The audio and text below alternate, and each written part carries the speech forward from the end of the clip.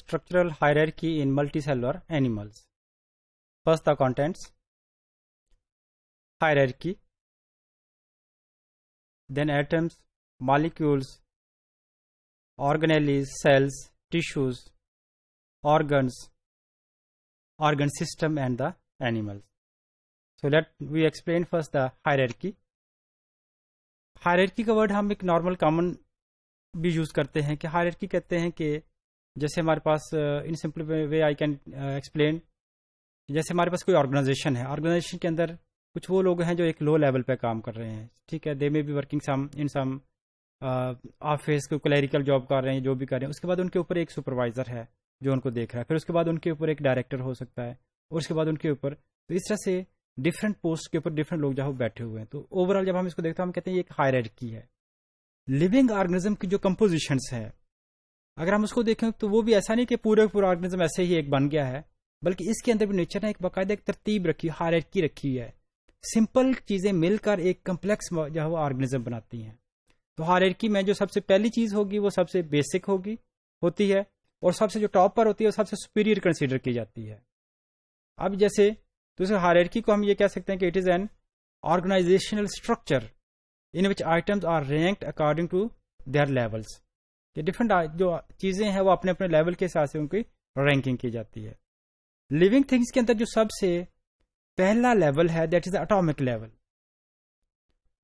atoms जो हैं they are actually the structural component of matter atom के अगर हम देखते हो, जितना भी, यानी कि मैटर जो उसका जो बेसिक स्ट्रक्चर है, सबसे यूनिट ऑफ़ मैटर जिसको हम कहते हैं दैट इज़ द एटम तो atom number of atoms in in animals अगर हम ओवरऑल देखें तो नंबर ऑफ़ एटम्स की भी हम ये कहें टाइप्स ऑफ़ एटम्स जो हैं they are according to the number of elements suppose एक लिविंग ऑर्गेनिज्म के अंदर 16 एटम एलिमेंट्स मौजूद हैं। तो 16 एलिमेंट्स की वजह से उसके अंदर जो वो 16 टाइप्स ऑफ़ एटम्स एग्जिस्ट करते तो आमतौर पर एक किस्म के एलिमेंट के लिए एक किस्म का एटम जो है वो कंपलसरी है।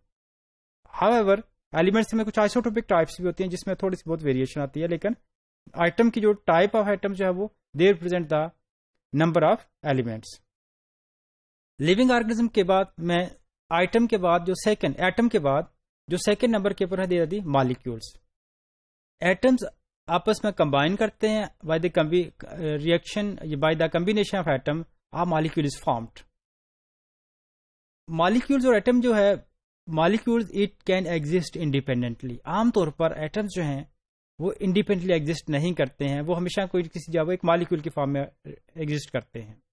जबकि मालिक्यूल्स जो they have independent existence and they part in a reaction जब केमिकल रिएक्शन या बायोलॉजिकल रिएक्शन है तो we talk about the molecules इतने मालिक्यूल्स जो आपस में कंबाइन हो रहे हैं। लिविंग थिंग्स में जो मालिक्यूल्स हैं they may be a very small size small size molecules को हम they are called micro molecule जैसे ग्लूकोज है अमाइनो एसिड्स हैं शुगर है यूरिया है।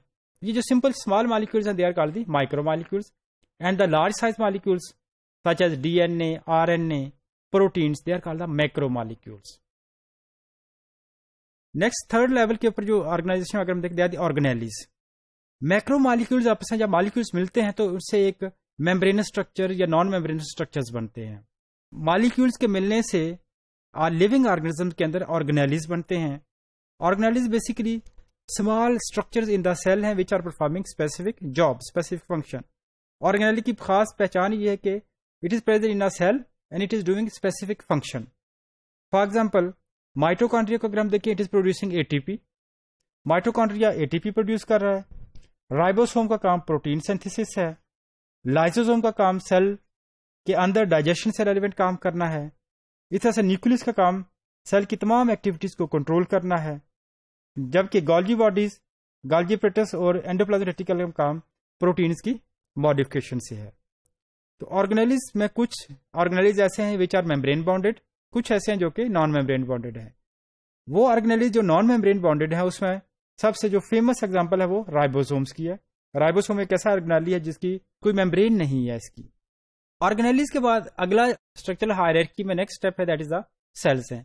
डिफरेंट ऑर्गेनालीज और जो कंपोनेंट्स है they combine together to form a cell cell is the structural and functional unit of life या सिंपली हम कह सकते हैं कि cell is the structural and functional unit of living organism क्योंकि यहाँ हम हायर की स्टडी करें तो हम लाइफ के बजाय लिविंग ऑर्गेनिज्म का वर्ड यूज़ करेंगे कि cell is a structural and functional unit of living organism cells they may be prokaryotic cell they may be eukaryotic cell अगर न्यूक्लियस मौजूद है तो यूक्रियोटिक सेल अगर न्यूक्लियस मौजूद नहीं है तो prokaryotic cell tissues different types of cell बहुत सारे सेल जो कि रेलिवेंट फ़ंक्शन परफॉर्म कर रहे हैं.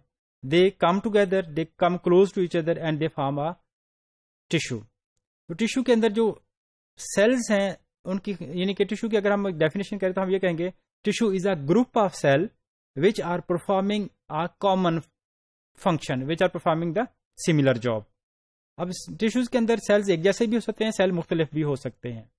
आमतौर पर जिन टिश्यूज के अंदर सेल्स एक जैसे होते हैं, उनके लिए हम कहते हैं सिंपल टिश्यूज हैं। और वो सेल्स वो टिश्यूज जिनके अंदर सेल्स मुख्तलिफ़ टाइप्स के होते हैं they are called the compound tissues tissues के एग्ज़ाम्पल हमारे पास our body have large number of different types of tissues जैसे हमारे पास बोन टिश्यूज है कार्डियक टिश्यूज है एपिथिलियल टिश्यूज हैं एंडोक्राइन टिश्यूज है। एंडोक्राइन टिश्यूज वो है जो हार्मोन्स वगैरह रिलीज़ करवाते हैं। टिश्यूज के इकट्ठे होने से रेलिवेंट फ़ंक्शन परफॉर्म करने वाले tissues they combine together they come close to each and they form the organ organ जो है, ये स्पेसिफिक स्ट्रक्चर है which is actually performing the specific function organ एक खास फ़ंक्शन परफॉर्म करता है, जैसे स्टोमिक का काम है डाइजेशन प्रोटीन डाइजेशन करना इंटेस्टाइन का काम है एब्जॉर्प्शन करना हार्ट का काम है ब्लड को पंप करना. तो one organ perform specific function then system different types of organs मुख्तलिफ़ आर्गन जो एक जैसा या किसी मिलता जुलता फ़ंक्शन परफॉर्म करते हैं they come close to each other and they form a system system की डेफिनेशन या खास बात यह है कि ऑर्गन को हम कहते हैं कि इट परफॉर्म स्पेसिफिक फ़ंक्शन जबकि सिस्टम की अगर डेफिनेशन करते तो हम ये कहेंगे system it completes a process जैसे अगर हम डाइजेशन की बात करते हैं तो फ़ूड का डाइजेस्ट होना क्या एक प्रोसेस है? तो डाइजेस्टिव सिस्टम डाइजेशन का काम करेगा। इस तरह से जो हार्ट की पंपिंग है, ये ब्लड सर्कुलेशन है। तो हार्ट कैपिलरीज वेन्स आर्टरीज ये सारी चीज़ें मिलकर क्या बना रही हैं? सर्कुलेटरी सिस्टम बना रही हैं। इस से रेस्पिरेटरी सिस्टम है।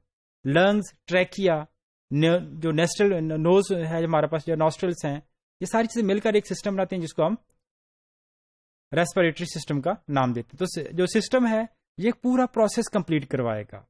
इस तरह से हमारे पास डिफरेंट सिस्टम्स जब इकट्ठे होते हैं तो वो एक इंडिविजुअल को बनाते हैं। इंडिविजुअल को हम ऑर्गेनिज्म भी कहते हैं। तो the systems they make an organism organism की जो यूनिक पहचान है, सबसे मुनफरद पहचान यह है इट हैज़ इंडिविजुअल एग्जिस्टेंस अकेला ऑर्गन सर्वाइव नहीं कर सकता, अकेला सिस्टम सर्वाइव नहीं कर सकता, अकेला टिश्यू सर्वाइव नहीं कर सकता।